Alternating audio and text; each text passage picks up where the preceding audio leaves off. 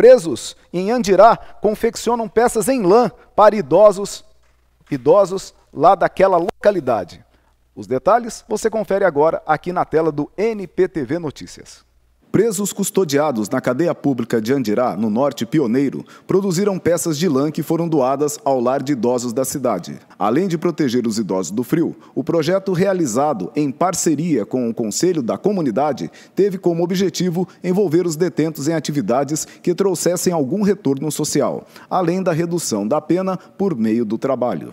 O projeto conta ainda com o apoio do Poder Judiciário e do Ministério Público. Nossa missão é preparar o indivíduo para que ele retorne à sociedade uma pessoa melhor do que entrou.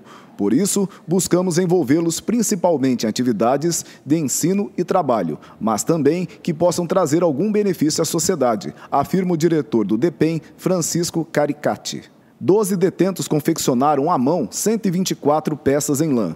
Os idosos do lar de velhinhos Dona Araci Barbosa receberam um kit composto de gorro, cachecol e pantufa.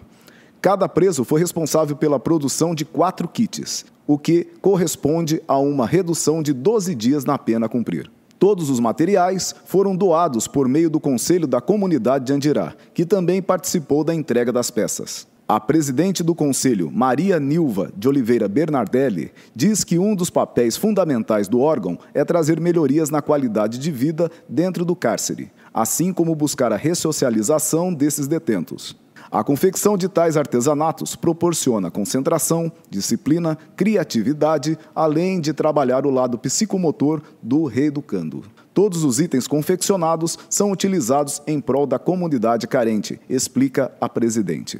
Para o gestor da cadeia pública de Andirá, João Vitor Silveira de Oliveira, o projeto, além de trazer benefícios comportamentais para o preso e a redução da pena, também trabalha a conscientização social e, nesse caso, proporcionou aos idosos que residem no lar mais conforto e qualidade de vida.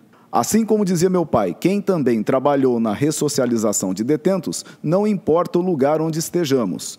A solidariedade nos permite sonhar com todas as portas abertas no futuro, enfatiza o gestor.